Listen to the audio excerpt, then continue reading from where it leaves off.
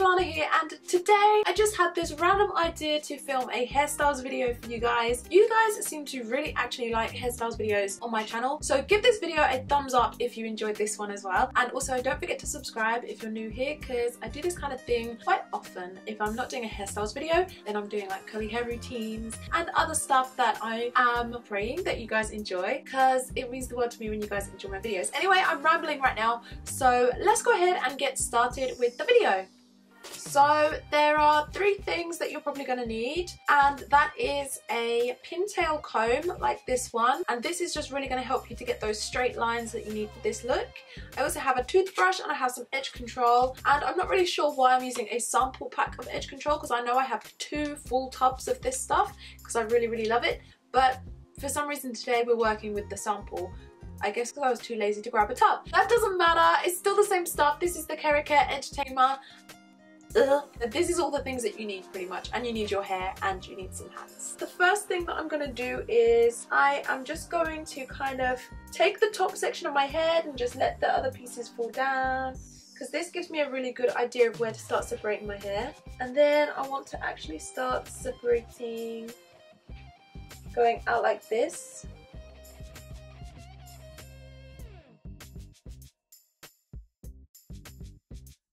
and it's going to go out in a diagonal line. It's not going out completely straight. So you want to make sure that it's even and it's going to look like this.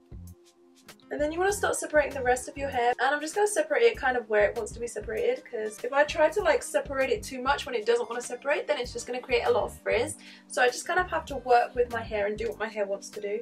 Right so I'm going to tie the rest of my hair away. So that's a silk scrunchie from Satin Line Caps and I'll link that down below as well because a lot of you guys ask where I get my satin um, line scrunchies from. So I'm going to start doing a voiceover now and I'm sorry because my voice was already bad when I filmed the video and it's gotten even worse overnight and there's going to be stuff in the background too. I'm so sorry. What you want to do next is separate that top piece of hair into three sections because you want three braids. So I just did it in a really rough guideline for myself and then I took the pintail comb and gave myself really straight lines for each section and when I have a section I pin it down with a clip just to make sure that it doesn't get lost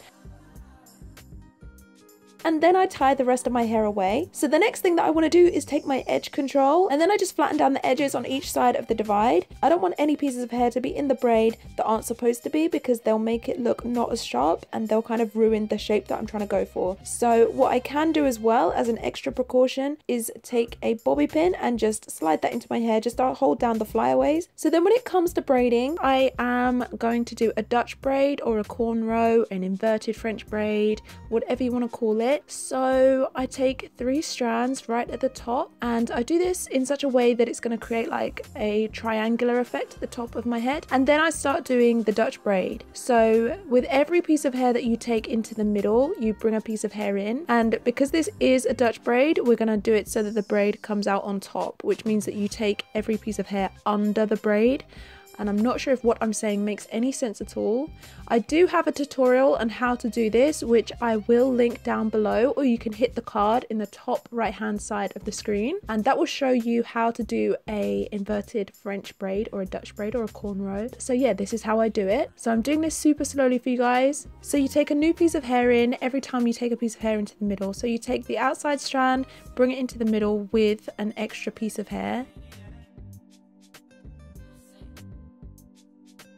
and then you want to go over to the other side. So grab a new piece of hair, combine them together and bring them into the middle. So then I take this piece under, I grab a piece of hair, I combine it with the piece that I'm taking under, and then I wrap it. I really hope that that makes sense for you guys. If not, then you can definitely watch my tutorial. It's a full tutorial on how to do these kinds of braids or cornrows, and that should really, really help you out.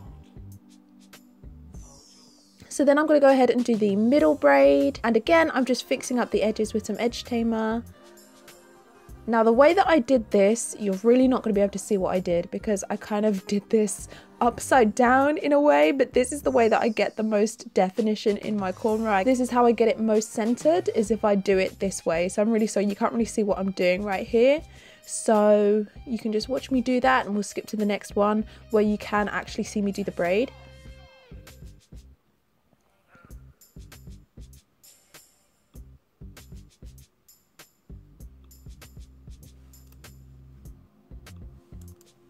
So when I'm done with that one, I just pin it down so that it doesn't come loose and then I get started on the next one. So I'm just fixing up those lines again, making sure they still look nice and straight and sharp. And then I'm going to get started braiding. So I take the three strands at the front and as before I start taking them under when I put them in the middle. So they go under and into the middle and every time they go under they take a piece of hair in with them. So now this side is going under and it's going to bring a piece of hair from the outside in with it. So it just keeps going like that. And then you go to the next side and take that piece under and grab a piece of hair to put with it. And again, it's going to go under, grab a piece of hair, combine them together and take those under. So that's how to do the cornrow. So you just want to keep doing that right until the end.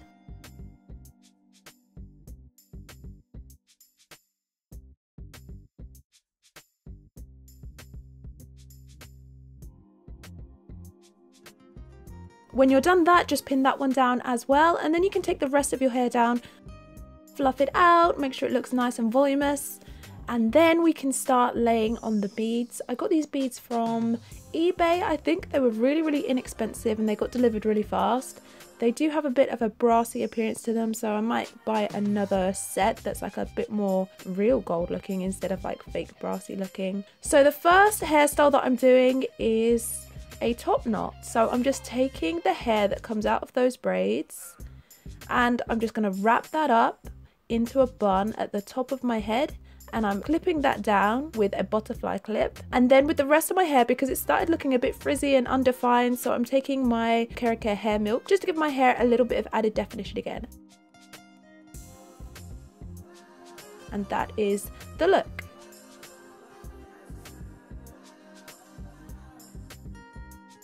Now for style two, I just really wanted to emphasize those cornrows on the top of my head.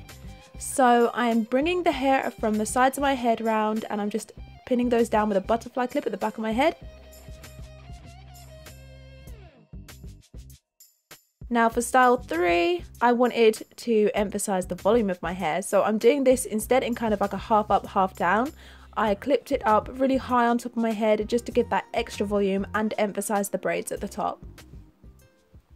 Thank you guys so much for watching. I really hope that you guys enjoyed the video. It really means the world to me that you guys are still here. You watched this much of the video. And if you are still here, then I just have one last request from you guys and that's if you could just please drop a like on the video and that way I know that I did a good job and also don't forget to subscribe so that you don't miss anything else. I'm on my way to 70,000 subscribers and it just makes me so happy that there's almost 70,000 of you guys that are interested in watching my videos. So if you don't want to miss any of the future ones then don't forget to subscribe and it will just make me so happy. I just, I love every single one of you so much for just watching my videos. It's just incredible. So yeah, if you want to talk to me then you can leave a comment. I try to reply to every single comment that's left on my most recent video. So if it's not this one, it will be like another one. So go check out on my channel if you want to chat to me and I will see you guys in the comments over there. And also, of course, you can get me on Twitter, Snapchat, Instagram, and I have my Facebook linked down below as well, but I don't really use Facebook that much. But I'm really active on the other ones and I try to reply to absolutely everybody. So yeah, I'll see you over on one of those. Thanks again for watching. Bye! that you'll be coming back. You know.